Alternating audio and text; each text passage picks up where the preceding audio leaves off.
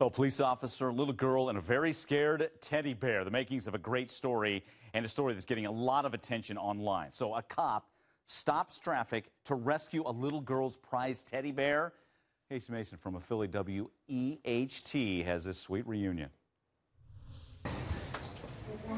I recognize that bear. How are you? Good. My name is Jason. My name's Nick. It is my Evansville Police Sergeant Jason Cullum meets eight year old Nikki Mayo. She's there to say thank you while hugging her teddy bear extra tight. Can I get a hug? That'd be cool. Oh, thank you. Thank you. Hugging her bear she almost lost and hugging the officer who saved it. I'm so happy that he found him. Well, thanks to a dash cam rolling, thousands have watched the officer show his soft side, stopping for an object on I 164. It was Nikki's teddy bear in the busy roadway. Cullum was able to catch up with her family down the road who had been searching for the precious cargo and safely return the bear. Was a teddy bear? Yes, sir. There you go. Apologize. No problem. Okay, thank you very much. You're welcome. Nikki says thank you because this bear is a special one. This is the first bear I ever had.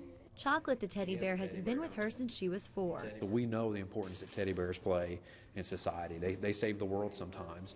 And on that day, the teddy bear needed saving. Reuniting a little girl and her bear, Cullum says a thank you was plenty enough. This has really turned into something way more than I thought it would have. Uh, I appreciate it personally uh, that people are giving it positive attention. Uh, but seeing her tonight when I walked in here holding that bear, not just holding it, hugging it like she's never going to let it go, I'm really glad that I stopped. Thank you, Jason. How about that? Uh, our thanks again to Casey Mason from Affiliate WEHT for that. And joining us, the man of the hour, the hero, Sergeant Cullum. Sergeant, well done. Thank you. Good afternoon. Hey, good afternoon. So, uh, what made you stop?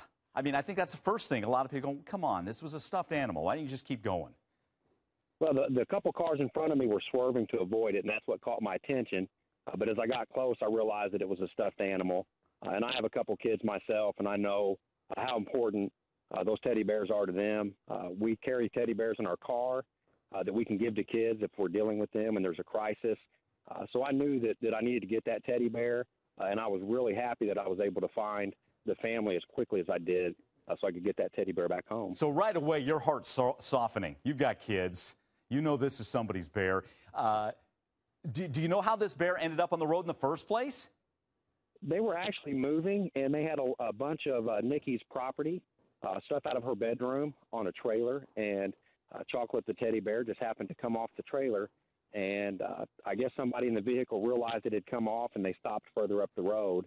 Uh, but I don't think that's going to happen again. I don't think she's No. going to let that teddy bear out of her sight. No, you're right. Well, I mean, we saw the video just a second ago there of you and this cute little girl and the teddy bear. Was that the first time you saw her face to face? That was the first time. That was the first time I got to meet her. Uh, I found the teddy bear on Saturday, and on Tuesday, Nikki's mom called and asked if we could meet because she wanted to say thank you. Oh, So you- we met Tuesday night, and that was actually the first time uh, that I got to see uh, Nikki with chocolate. you know, and uh, take us behind this video here. We're seeing it, and it's a really touching shot. But what are you thinking? Um, are, are, are you getting a little emotional as you see this little girl hugging Chocolate, the teddy bear?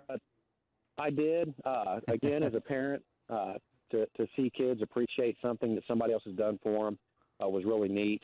Uh, in law enforcement, we don't get thanked a lot for the stuff we do. Uh, and, and when you get a thank you from a child like that, you know that it's heartfelt. Uh, she was shy, but she still wanted to, to reach out and say thank you. Uh, and I know I'm getting a lot of attention for what I did for her, but her reaching out and saying thank you to me uh, has really meant the world to me, and I really appreciate it. What was that hug like? We just saw it there. It was one of the best hugs I've ever had. Hmm.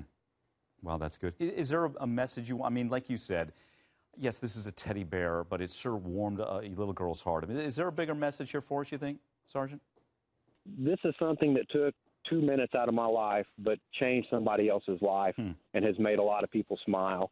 Uh, if everybody is willing to give that little of themselves to help somebody else, uh, this is what it can do. Uh, and I hope that, that my kids learn from this, and I hope that a lot of people learn from this. That uh, it doesn't have to be a big event to change people's lives. It can be something small, uh, and if it's heartfelt and honest, uh, it's going to accomplish that. Well put. Two minutes out of our lives can change somebody else's. You did just that. Sergeant, thanks again. Merry Christmas to you. Appreciate your Uh, time. it's already been a good Christmas. Yeah, I'm sure. I'm sure. Well done. And uh, chocolate the teddy bear safe and sound.